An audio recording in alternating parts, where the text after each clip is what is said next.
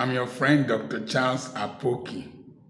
This is the video that will scatter the table. Religion and the absence of enduring family businesses in Africa, apart from Islamic families. Number one, growing up, what I heard most was the kingdom of God is at hand. The kingdom of God is at hand. The kingdom of God is at hand. And an emphasis on the world ending very soon.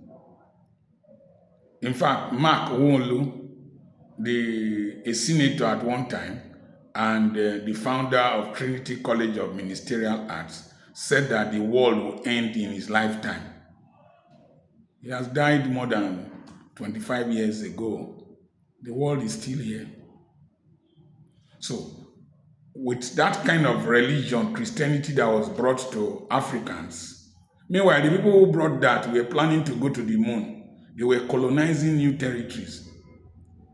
The end of the world is, you will see very lazy Christians. If you want to know a very lazy Christian, he is an end time preacher, end time preacher, always looking for people to condemn, always looking for sin. Me, I'm preparing for the return of Christ, but I will pay salaries before he comes.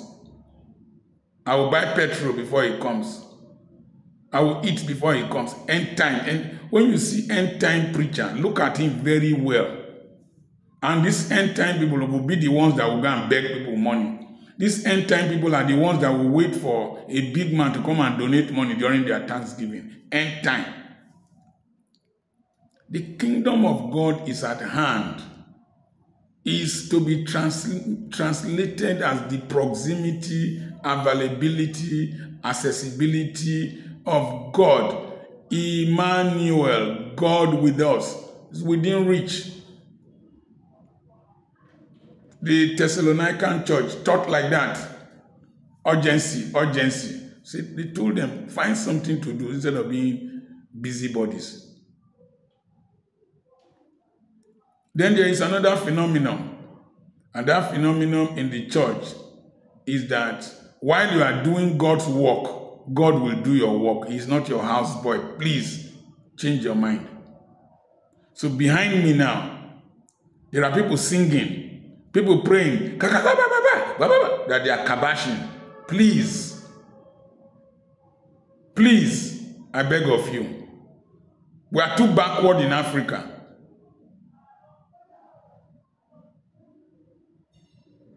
all the 90% of the examples that Jesus used were economic examples, business examples, and we misinterpreted them. We left the sociology of the Bible, Abraham, Isaac, Jacob. Imagine uh, uh, Nabal was a foolish man, but he had 3,000 sheep times 3 times 30,000 is about 9 million or 90 million. A foolish man. How much do you have? Those sheep were, they asked the children, those sheep were from his father, forefather Caleb. They asked um, Jacob and his children, What is your occupation? He said, Our people have been shepherds over the years. The ones they crossed the Red Sea with, the ones they crossed the desert with, the one they refused to eat in the wilderness. There were animals with them in the wilderness. They were thinking of an enduring business. They did not want to slaughter those in the wilderness. That was why they cried for meat. And God sent quail and manna. These the same animals they crossed the Red Sea with. I mean, crossed the river Jordan with. So uh, we've been shepherds. They had family business. We have this mentality of we brought nothing to this world, we will leave nothing in this world. I mean, we will take nothing away. Yes, we are not taking any, anything away. Let's leave something behind to make it a better place. All the things you are using were left behind by people, and you are buying them. African Christians must learn to become responsible and productive. It's not the way you do your face like a mortuary attendant that makes you uh, holy. The next thing is that the missionaries they sent to us were not entrepreneurial. They were not. And this concept of full time ministry F U L L time ministry is gradually changing to F O O L time ministry. Paul was a tent maker. He said, I paid for, I paid for whatever I used. He paid his bills. I pay my bills. People donate things to me. Yes, but I pay my bills. I generate my own revenue. I don't wait for offering. I don't wait for tithe. I generate my own revenue. And the concept of looking at church as only where we serve God without seeing our businesses as places of service to God and humanity is very wrong. So, religion contributed to a large extent, particularly modern religion. In fact, somebody said that the white man brought the Bible, told our eyes to told us to close our eyes to pray. As we closed our eyes to pray, They took our land.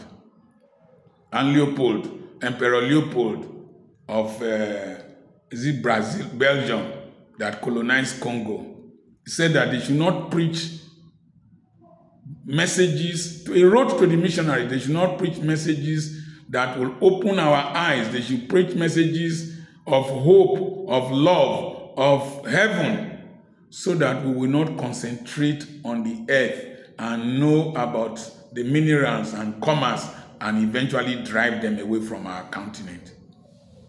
We must redefine Christianity. We must redefine it. Let me shock you.